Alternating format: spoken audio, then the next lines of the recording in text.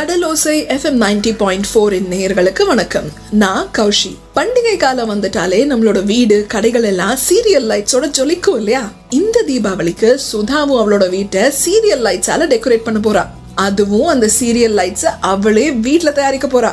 சுதா எப்படி அந்த serial lights தயார் பண்றான்னு இன்னைக்கான ஒலி நாடகத்துல கேட்டு தெரிஞ்சுக்கலாம். ஸ்போக்கன் டியூட்டோரியல் ஐஐடி பாம்பே வழங்கும் அன்றாட வாழ்வில் அறிவியல். அன்றாட வாழ்வில் அறிவியல். வானொலி தொடர் நம்ம கடலோசை எஃப்எம் தொண்ணூறு புள்ளி நான்கு சமுதாய வானொலியில். ஹம், நாளைக்கு தீபாவளி.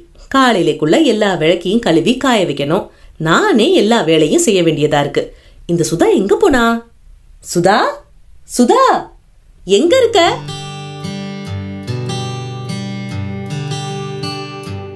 அம்மா நான் பால்கனில இருக்கேன். என்னாச்சு சுதா? நாளைக்கு தீபாவளி. நான் உனக்கு பிடிச்ச பலகாரம்லாம் செஞ்சுட்டு இருக்கிறேன் நீ புது ட்ரெஸ் வேற போட்டுக்க போற. அதனால தீபாவளியை செலிப்ரேட் பண்ண ஆர்வமா இருப்பேன்னு பார்த்தா இப்படி இங்க வந்து உட்கார்ந்து இருக்கிறியே அம்மா இன்னைக்கு ஸ்கூல்ல நானு சந்தோஷ் ரம்யா மூணு பேருமே சீரியல் லைட்ஸை பத்தி பேசிட்டு இருந்தோம். அவங்க ரெண்டு பேரும் தீபாவளிக்கு அவங்க வீட்டை டெக்கரேட் பண்ண சீரியல் லைட் வாங்கியிருக்காங்களாம். அந்த சீரியல் பல்ப் எல்லாமே நிறைய கலர்ல ஜொலிக்குமா? நம்ம வீட்டையும் சீரியல் லைட்ஸால டெக்கரேட் பண்ணலாமா? இதுதான் உன் பிரச்சனையா? அம்மாவும் பொண்ணும் எதை பத்தி பேசிட்டு இருக்கிறீங்க? சுதாவோட ஃப்ரெண்ட்ஸ் தீபாவளிக்கு அவங்க வீட்டை சீரியல் லைட்ஸால டெக்கரேட் பண்ண போறாங்களாம். அதான் சுதாவும் நம்ம வீட்டையும் சீரியல் லைட்ஸால டெக்கரேட் பண்ணலாமான்னு கேக்குறா. நீங்க சுதாவை எலக்ட்ரிக்கல் ஷாப்புக்கு கூட்டிட்டு போய் சீரியல் லைட் செட் ஒன்று வாங்கிட்டு வந்துடுறீங்களா? என்னது வாங்கவா? சுதா அப்பா நானே உனக்கு நல்ல ஒரு சீரியல் லைட்டை செஞ்சு தர்றேன். என்னது? நம்ம வீட்லயே சீரியல் லைட் தயாரிக்கலாமா? கண்டிப்பா சுதா. முதல்ல அப்பா போய் ஃப்ரெஷ் அப் ஆயிட்டு வரேன். அதுக்கப்புறமா கடைக்கு போய் சீரியல் லைட் செய்யறதுக்கு என்னென்ன தேவையோ அதெல்லாம் வாங்கிடுவோம் சரியா? ஓகேப்பா. அண்ணே ஒரு ஒன்பது வோல்ட் பேட்டரி ஒரு பேட்டரி ஹோல்டர் அஞ்சு பத்து எம்எம் எல்இடி பல்ப்ஸ் பதினஞ்சு சென்டிமீட்டர் வயரு இதெல்லாம் தாங்கனே அப்பா வெறும் அஞ்சு பல்பு தானா? உனக்கு எத்தனை பல்ப் வேணும் சுதா? கேளு வாங்கிடுவோம் அப்பா ஒரு இருபத்தஞ்சு பல்பு வேணும். ப்ளீஸ்பா ப்ளீஸ்பா ம் சரி சுதா. இருபது பல்பும் ரெண்டு பேட்டரியும் வாங்குவோம். ஒரு சீரியல் செட்டு நான் பண்ணுவேன். என்ன பார்த்து நீ ஒன்று பண்ணணும். ஆஹா சூப்பர் ஐடியாப்பா நான் இப்பவே சந்தோஷையும் ரம்யாவையும் கால் பண்ணி கூப்பிடுறேன். இன்னைக்கு ஜாலியா இருக்க போகுது. கூப்பிட்டுக்க. அண்ணே உங்ககிட்ட என்னென்ன கலர் பல்ப்லாம் இருக்கு? கொஞ்சம் காட்டுங்க. சிவப்பு ஊதா மஞ்சள் ஆரஞ்சு அப்புறம் பச்சை கலர்ல எல்லாம் பல்ப் இருக்கு சார் ம் ஓகேண்ணே. எல்லா கலர்லையும் நாலு பல்பு கொடுங்க. ஆ okay sir. Sudha calling bell அடிக்குது பாரு. யாரோ வந்திருக்காங்க. போய் கதவை தர ஏன் ஃப்ரெண்ட்ஸ் தான்ப்பா? சந்தோஷ் ரம்யா ரெண்டு பேரும் உள்ள வாங்க. என்ன சுதா? ஃபோனில் ஏதோ சர்ப்ரைஸ்னு சொன்ன. என்னன்னு சொல்லு. புதுசாக ஏதாச்சும் கண்டுபிடிக்க போகிறோமா ஆ சுதா உன் ஃப்ரெண்ட்ஸ் எல்லாம் வந்தாச்சா? சரி எல்லாரும் வாங்க. போய் சீரியல் செட் செய்ய ஆரம்பிக்கலாம். என்னது? நாம சீரியல் செய்ய போறோமா? இது சூப்பரா இருக்குமே. ஆமா ரம்யா இதுதான் அந்த சர்ப்ரைஸ் இதுக்கு தான் உங்க ரெண்டு பேரையும் கூப்பிட்டேன். இப்போ என்ன பண்றீங்கன்னா ஒரு பத்து பல்ப் எடுத்துக்கங்க. அங்கிள் நான் பண்ணுறேன் அங்கிள் அங்கிள் இதை பாருங்களேன்.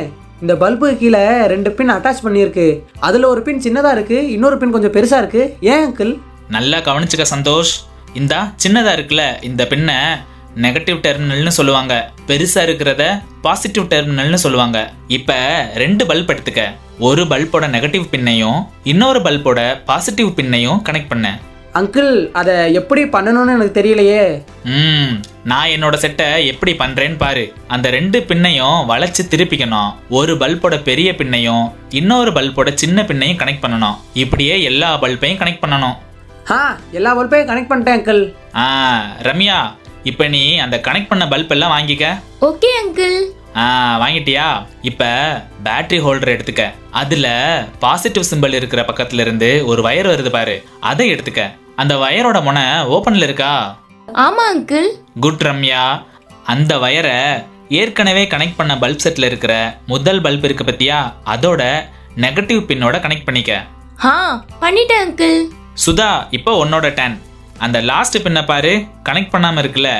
அது பாசிட்டிவா இல்ல நெகட்டிவான்னு சொல்லு பாப்போம். இந்த பின்னு கொஞ்சம் நீளமா இருக்கு. அப்போ இது பாசிட்டிவ் பின் தானேப்பா கரெக்டா சொன்ன சுதா. சரி நீ ஒரு வயர் எடுத்துக்க.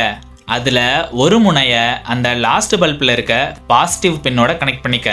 அப்புறம் கனெக்ட் பண்ண வயரோட இன்னொரு முனையை எடுத்து சுவிட்சில் இருக்க அந்த கொக்கியில மாட்டு. இந்த கொக்கிய மைனஸ்னு சொல்லுவாங்க தெரிஞ்சுக்கோங்க. இந்த சுவிட்ச்லயும் பாசிட்டிவ் நெகட்டிவ்னு ரெண்டு டெர்மினல்ஸ் இருக்கும். பண்ணிட்டேன்பா. அப்பா இப்போ பேட்டரி ஹோல்டர்ல நெகட்டிவ் பக்கத்துல இருந்து வர்ற வயரை சுவிட்சில் இருக்கிற பாசிட்டிவ் பாயிண்டோட கனெக்ட் பண்ணணும் தானே? பேசாம அதை பண்ணட்டா? சூப்பர் சுதா அப்படியே பண்ணு. நீ சரியான அதிக பிரசங்கி சுதா. இப்போ நான் அந்த ஒன்பது வோல்ட் பேட்டரியை இந்த பேட்டரி ஹோல்டர்ல போடுறேன். சரி யார் இப்போ சுவிட்ச் ஆன் பண்ண போறீங்க? அங்கிள் ப்ளீஸ் நான் ஆன் பண்றேன். Okay okay Ramya. நீயே போய் பண்ணு. டாடா ஆன் பண்ணிட்டேன். வாவ் நம்ம சீரியல் செட்டு சூப்பரா வேலை செய்யுதுப்பா. எல்லா பல்பும் கலர் கலரா எரியுது. அப்பா எனக்கு ஒரு டவுட் நம்ம ஸ்விட்ச் ஆஃப் பண்ணதும் எப்படி லைட்ஸ்லாம் ஆஃப் ஆகுது? நல்ல கொஸ்டின் சுதா. இப்போ நாம சுவிட்ச் ஆஃப் பண்ணும்போது வயர் மூலமா பேட்டரியில இருந்து லைட்டுக்கு போற எலக்ட்ரிசிட்டி கட் ஆகும். எலக்ட்ரிசிட்டி கட் ஆச்சுன்னா லைட் எரியாது. திரும்ப சுவிட்ச் ஆன் பண்ணாதான் பேட்டரியில இருந்து எலக்ட்ரிசிட்டி வயர் வழியா திரும்பவும் லைட்டுக்கு வர ஆரம்பிக்கும். அந்நேரம் எல்லா லைட்டும் எரியும். நாம சுவிட்சை போட்டதும் கரண்ட் பேட்டரியில இருந்து ஃபர்ஸ்ட் பல்ப் இருக்குல்ல அங்க போய் அதுக்கப்புறமா கனெக்ட் பண்ண பின் மூலமா அடுத்தடுத்த பல்புக்கெல்லாம் வரிசையா போகுது. அப்புறம் மறுபடியும் கரண்ட் எங்க ஸ்டார்ட் ஆச்சோ அங்கேயே வந்துடும் இன்னைக்கு நாம எல்லாரும் சேர்ந்து செஞ்ச இந்த ஆக்டிவிட்டி செம்ம ஃபனா இருந்துச்சுல? ஸ்போக்கன் டியூட்டோரியல் ஐஐடி பாம்பே வழங்கிய அன்றாட வாழ்வில் அறிவியல். வானொலி தொடர். நம்ம கடலோசை எஃப்எம் தொண்ணூறு புள்ளி நான்கு சமுதாய வானொலியில். இன்னைக்கான ஒளி நாடகம் ரொம்பவே ஃபன்னா இருந்துச்சுல? சரி நீங்க எப்பயாச்சும் உங்க வீட்ல சீரியல் செட்டை தயார் பண்ணிருக்கீங்களா? எந்த ஃபங்க்ஷனுக்காக நீங்க சீரியல் செட் தயார் பண்ணீங்க? அதை கமெண்ட்ஸ்ல பதிவு பண்ணுங்க. மீண்டும் அடுத்த அத்தியாயத்துல சந்திக்கலாம். நன்றி.